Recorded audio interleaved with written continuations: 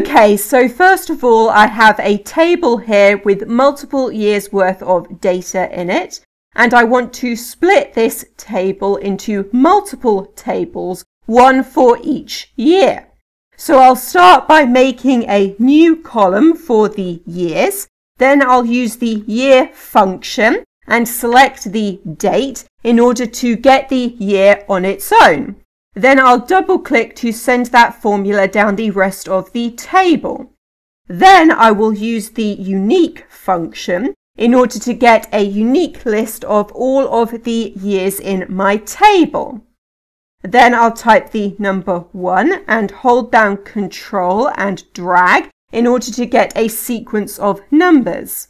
And what I want is to have three cells in between each of the years, as I have three columns in my table, and I also want to have a space in between each of the tables.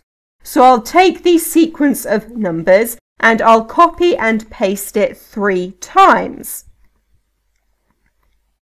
Then I'll select the results of the unique formula and right click and drag and then drag back again. Then I'll copy here as values only in order to get rid of the formula. Then I'll select all of this and then right click and go to sort and sort smallest to largest. And now I have the years with three cells in between each of them. I no longer need the sequence of numbers, so I'll delete that. And then I'll select all of the years here and copy them and we'll paste them transposed. Then I don't need the years here anymore, so I can delete those. And now I have the headings set up, I will use a filter formula.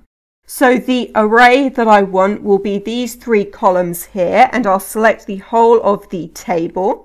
Then use the keyboard shortcut F4 to make that an absolute cell reference so that it won't change when I drag the formula across.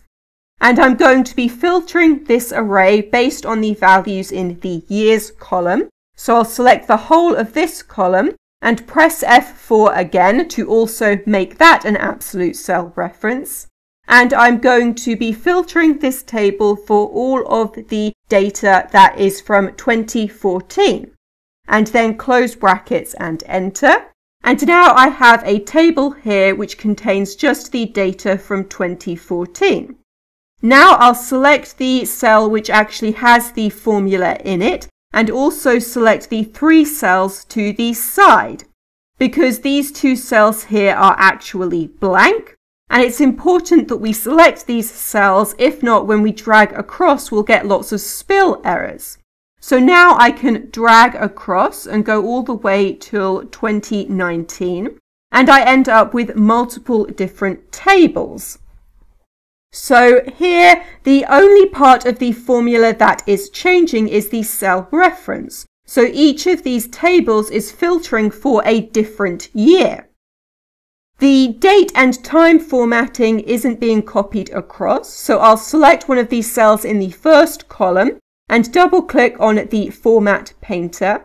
Then I can select each of the columns that has the dates and times in it in order to copy the formatting across. Then I'll press escape so I no longer have the format painter selected and I'll select all of these columns and then double click to increase the column width so we can actually see the dates and times. Then I'll select the first row and change this back to general so we'll be seeing the years at the top correctly. And I'll also change this to bold so that all of the headings are in bold. Then I'll select these headings here and copy them and paste them in here and select the headings and also the cell right next to them. And then we can drag this across as well. And I need to change this here from fill series to copy cells. And now we've copied all of the headings for the individual tables. Okay, so in this video, I have taken this table here with multiple years in it, and I have split it so that we have multiple tables, each for a different year. And it doesn't matter that some of the years have a different number of data points. And that is everything.